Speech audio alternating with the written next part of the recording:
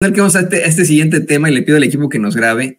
Hace unos momentos le proyectábamos a usted aquí en Sin Censura esa entrevista de hace 18 años en la que López Obrador le pone unas buenas nalgadas a Ciro Gómez Leiva, quien como siempre, ¿no? Con un histrionismo impresionante, eh, con una eh, pues actitud como el mismo López Obrador menciona de perdonavidas, intentó condenar de inmediato a López Obrador, ya, ¿no? En una eh, pues en esa entrevista que le hacía, me, creo, creo que fue para Milenio, cuando estaba Ciro en Milenio, no sé si o, soy, o era todavía Canal 40, pero creo que era Milenio. En esa entrevista, eh, Ciro lo, vamos, pinta un López Obrador casi, casi que criminal, ¿no? Eh, dice, es que por mucho que te apoye el pueblo, Andrés Manuel, no tienes el apoyo del poder ejecutivo, legislativo y judicial, vas a enfrentar las consecuencias y etcétera y López Obrador lo que le respondía era, no, no, el pueblo me va a sacar de esto, vas a ver. Y que se cumple, ¿no? O sea, al fin y al cabo así fue. Desaforaron efectivamente, efectivamente eh, eh, al, presidente López Obrador y de ahí, de ahí se fueron con, eh, pues con ese tipo de, circunstancias. Pero era Canal 40, me dice Jorge CC. pero al fin y al cabo, no, eh, pues no, no, no, no enfrentó a ningún tipo de cuestión penal el presidente López Obrador. Bueno, luego de que lo exhibió en la mañanera con esa larga entrevista de hace 18 años, que se burlara de él, que le llamara perdonavidas, pues ya respondió el defensor de los malandros en su nuevo medio. Bueno, ya lleva mm, varios, varios años ahí, pero ya respondió desde la cueva de los malandros el defensor de los malandros, Ciro Gómez Leve. Esto fue lo que dijo. Hay una frase, recuperaron una frase mía, esa entrevista, donde yo le pregunto, no sé en qué contexto, le pregunto al presidente López Obrador, ¿el proceso de desafuero te alcanzará, Andrés Manuel? Porque va corriendo así, como lo alcanzó. Y le insisto, y van contigo pese a que este es un delito no grave, van contra ti. No entiendo. Lo que sí recuerdo, y él lo sabe muy bien, por ejemplo, en la marcha de abril, creo que fue el último domingo de abril del 2005, ahí estuve, yo iba por cierto con mi hijo a esa marcha, mi hijo que en aquel entonces tendría 10 años, y cuando pasa el presidente López Obrador venía escoltado por sus gacelas y venía con Jacob Polevsky. Y Jacob Polevsky le dice, ahí está Ciro. Yo estaba parado en algún lugar de reforma y el presidente se detiene, me saluda, me dice, ven, ven, ven. Yo no me puedo acercar porque había gente y pone las manos y hace así y me manda un abrazo.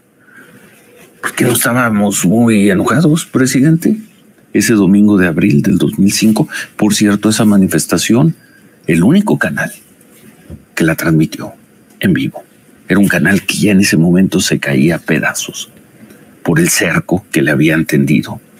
Cerco, además, patrocinado, más que patrocinado, eh, muy bien visto por el gobierno de Vicente Fox, que era CNI Canal 40, y transmitimos la manifestación.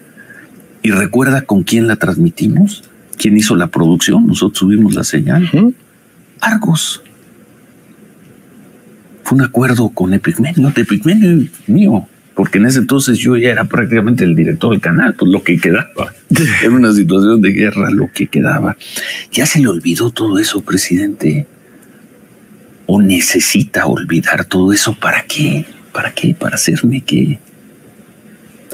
Dijimos, Manuel, de principio a fin, de principio a fin, el desafuero contra López Obrador es una atrocidad. Correcto de principio a fin. Ya se le olvidó, presidente.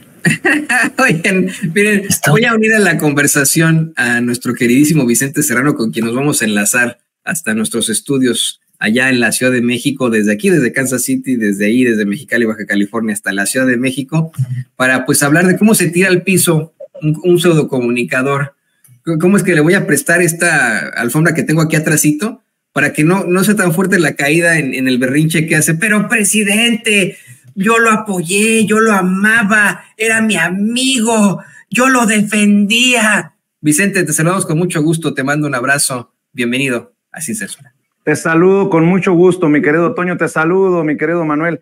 Imagínate tú, o sea, a ver, yo, presidente, casi, casi llorando, Ciro Gómez Leiva.